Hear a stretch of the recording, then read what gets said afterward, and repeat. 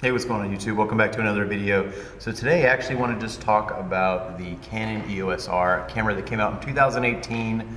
Is it still a viable option in 2022 going into 2023? The holiday season is here, so there'll probably be a lot of sales going on.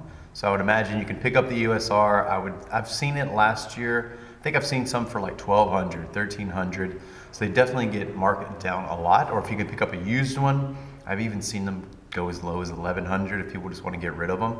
But they're actually still a fantastic camera and I still use mine to this day, pretty much every day. So this is my EOS R with the 24, I mean a uh, 70 to 200. So it's probably one of my favorite lenses to use for my EOS R. So basically the EOS R for me is just an outdoor camera. I use my R6 with the 24 to 105 for my studio work. So that's kind of, you know, what my go-to is for studio. And the reason being is I prefer the EOS R a couple different things. So the features, everything else comes down to really just photography for me. I'm not a video guy.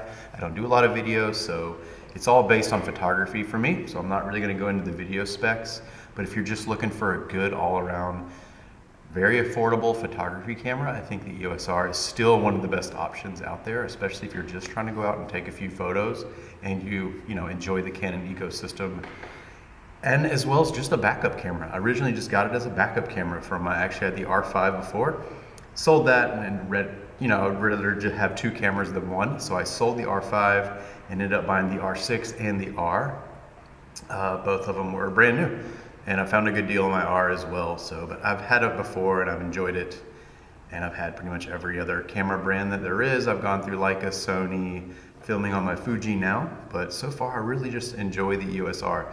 It's such an inexpensive but simple camera to use. Uh, if, you, if you're looking for an EOS R, I'm sure you've seen all the reviews. It's been out for so long. Everyone knows the touch bar is stupid. Yes, I don't use it. I just turned it off. But as far as everyday shooting, it's a fantastic camera. Kind of a very minimalist setup, which is what I like. It's very simple in design. I actually prefer the grip on this versus the R6. Just how it's nice and like very streamlined. So very much like an SL.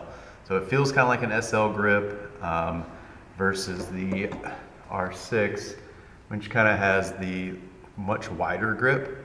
I actually like a little bit skinnier grip. It's a little easier to hold in the hand and just kind of, I don't know, I just, I prefer a simpler, smaller setup. And uh, with the magnesium body, it actually feels really fantastic. The R6 is definitely made slightly cheaper, but still, you know, specs wise, it's gonna crush the R as far as video goes. But for photography, you're really not gonna notice that much of a difference. 30 megapixels, it definitely helps when you're cropping. But as far as dynamic range and eye tracking, everything else is gonna be pretty much on par unless you're shooting in really high dynamic range, you know, areas which I don't recommend. Just plan your shots. Go in the morning, go in the evening. Don't try to force the shot when it's not there. Position the model somewhere else. Go somewhere else. Do something else. Don't just look for high dynamic range areas and trying to just push the shadow, you know, go in the sliders all different directions. When I'm shooting, really, I put it straight into Capture One. I really don't touch the image after that you know, besides color grading slightly, but as far as exposure, I very rarely touch many of the sliders. I usually nail it pretty close where I want it to look in camera. When I put it on the computer, it pretty much already looks like my end result as far as just exposure, but I will change the white balance, of course. You're gonna need to change a few things. And maybe just tailoring the colors to fit the theme. So maybe it's an outdoor shoot of a country maybe you you know country vibe. You want it to look a little more, you know, rundown, older, maybe a little warmer versus like something green. Where if you're all green, you might want to cool it down a little bit, make it a little more moody. So just things like that. But otherwise, Canon EOS R is one still van you know fantastic camera. Really nothing wrong with it. Um, I haven't had any issues as far as tracking, you know, eye tracking. It never misses a shot. I've never been like, oh, I wish this focused faster or better everything just works great. It's a great, great photography camera, especially if you can find one on the used market or you get one on sale coming up. There's plenty of, you know, great RF lenses now. I use the F4s. I love them. I do have the 35 and the 50 as well, the 1.8s. Fantastic lenses, but for far as my work cameras, this is my setup. And going back into indoor outdoor shooting, okay, so indoor shooting for tethering, the EOS R processor is a little bit slower, so it doesn't get the images to the computer as fast as the R6 will.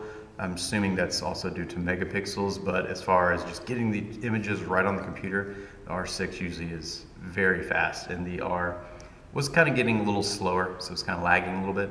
But another key difference is the shutter sound. So the shutter on the R versus the R6, the R is much, much louder. Which, if you're shooting with models, that's actually a good thing because they can actually hear the shutter and they know when to change positions and they know how to move. So if you're shooting with models, especially experienced models who want to hear the shutter, want to move, I do prefer the R because it is much louder. So here we go.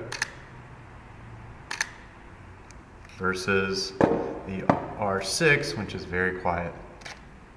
You can barely hear it. If you're outdoors shooting about five feet away, you're not even gonna hear it. So it actually got on my nerves and I was, uh, most of the models were kind of like, I can't even hear it. I don't know if you're taking a picture. So I just switched it. I used the R for outdoors. It's kind of a little bit better body, a little bit, uh, a little more rugged feeling. So I do prefer it. I prefer the minimal buttons. I just want to go out, shoot, not checking, not spinning the wheels, not using the joystick. Eye tracking works every time. You don't have to change anything. You just go out there, you knock it out. But those are just two small little things that ended up being kind of major for me that uh, made me pick the R and just keep on using it. I enjoy it. I don't have a problem with it. Never needed more megapixels necessarily. I um, don't need more dynamic range necessarily. It's just an all-around great camera still. Great pickup, especially during the holiday season. So if you're looking for one, I definitely would recommend it, especially over the RP. I would not buy the RP. It is pretty much kind of more of a, very much of a toy and the prices are very close now. I would definitely just avoid the RP.